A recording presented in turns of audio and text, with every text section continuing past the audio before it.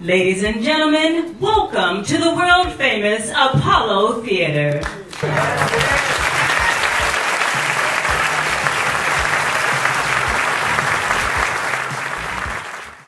First of all, uh, the band that, that uh, re- recorded the song with us didn't want to even play the song. They were like, I ain't playing no country song. Y'all ain't no country singers. And so we were like, come on, just, just play the song. Because Anita and Bonnie wrote it.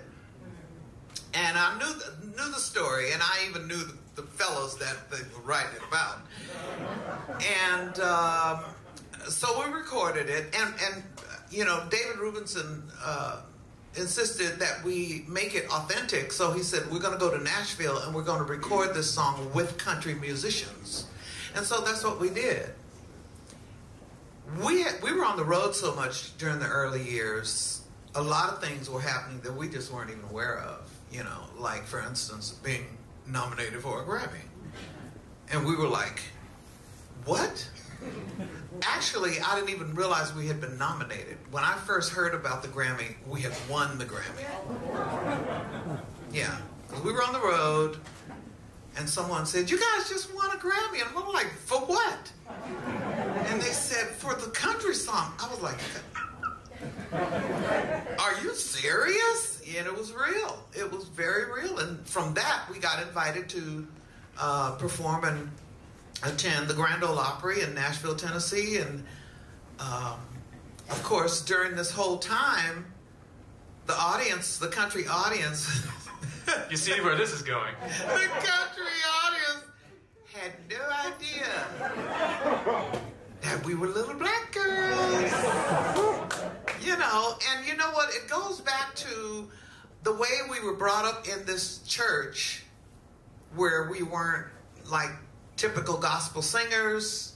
We sang hymns and anthems. And uh, so people early in the business weren't really that turned on to our sound because they couldn't identify it with that gospelness that's so typical of most black singers. we just didn't have that thing, that thing, you know, that growling, that run thing. We just didn't have it, you know. Um, and so uh, once they found out, we were at a party actually that they were supposed to be honoring the people who won the Grammy. And we showed up in our car and they rushed us around to the back of the house and we were like, oh yeah, we want to surprise everybody, yeah.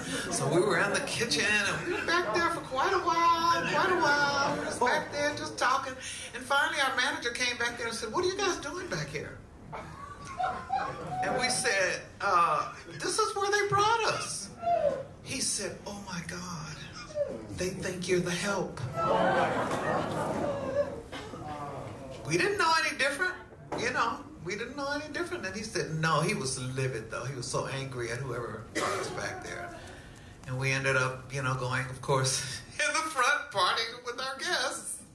But yeah, that was quite an experience that, you know, and when we did the Grand Ole Opry, performing on the Grand Ole Opry stage, um, you know, they too did not know. And one man in the front just screamed out, them gals is black. The country people, when they love you, they love you. And there's one thing I love about a country audience. They clap at the beginning of the song, they clap in the middle of the song, they stand up and cheer all through the song if they like it. They don't wait till the end. They just right away they start glorifying everything, you know. So we enjoyed ourselves.